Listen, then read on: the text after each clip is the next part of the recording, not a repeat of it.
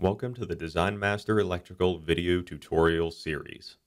This series will show you how to start a new project, use alignment points in your drawings, create and manage panels and other distribution equipment, generate and modify a one-line diagram, create light fixtures and receptacles, circuit devices, create and circuit equipment connections and switches, and perform point-by-point photometrics. If you'd like to follow along, links to the written tutorial and project files can be found in the description at the bottom of this page. This video covers point-by-point -point photometrics. Topics include adding IES files to the light fixtures, configuring light fixtures on the drawing, performing photometric calculations, and inserting photometric solids. Let's get started. When creating light fixtures in the project schedule, which was covered in Part 4, photometrics information can be entered manually or imported from an IES file provided by the manufacturer. To demonstrate, we've created Light Fixture S, which uses the single pole mounted block. Press the Select IES File button. Then open the 400 watt file. Values such as the lumens and number of lamps will be imported automatically.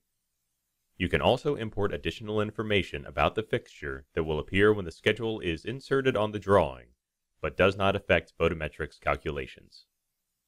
Press the Yes button to import this information. Set the arm length, voltage, and mounting, and save your changes. Press the Copy button and name this fixture S2.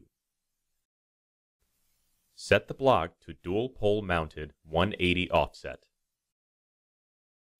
and the number of heads to two 180 degree offset. Then save your changes and close the dialog box. Run the Insert Light Fixture command.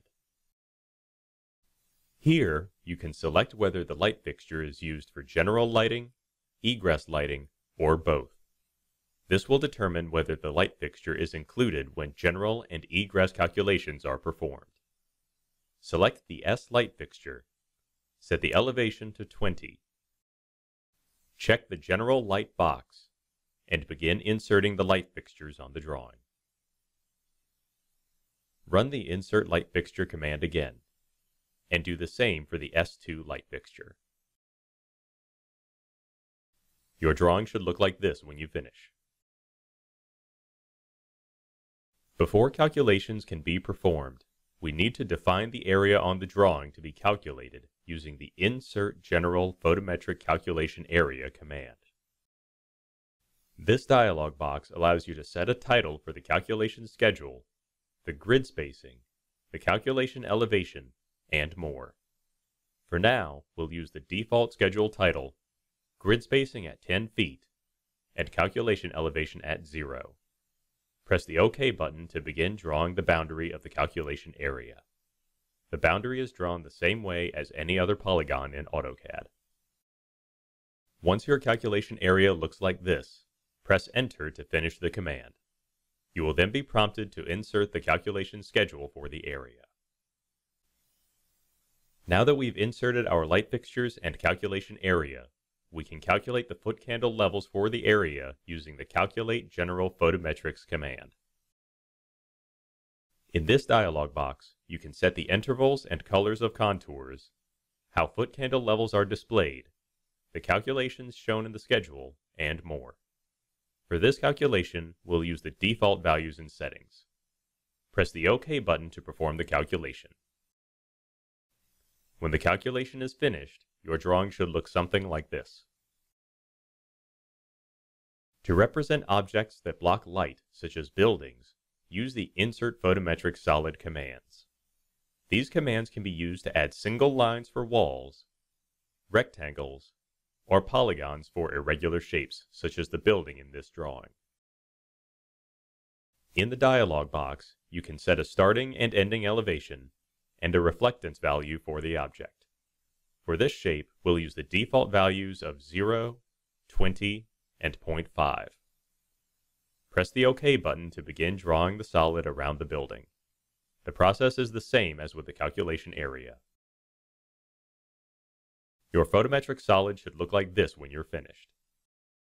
Run the Calculate General Photometrics command. Notice how the photometric solid affects the calculation. This concludes the Design Master Electrical video tutorial series. For more information about our software, you can read the user manual or visit the knowledge base using the links at the bottom of this page.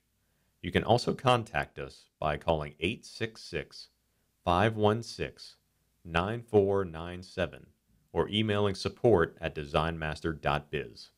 Take care.